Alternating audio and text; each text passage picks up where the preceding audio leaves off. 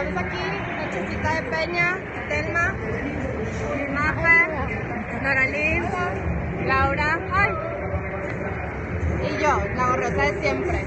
Venimos a ver, a ver si lo alcanzan a ver ahí.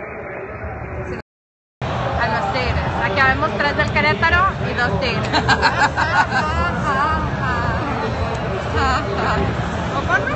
Eh, sí, esta señorita es la que andaba drogada el domingo diciendo sandeces. No tiene idea de lo que hace, lo hace todo mal, perdónala.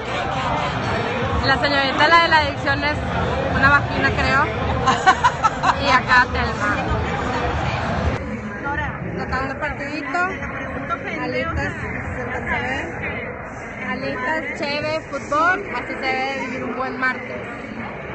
Este, ya votaron de quién es la más puta, quién es la más pepa, quién se va a coger primero el chatón.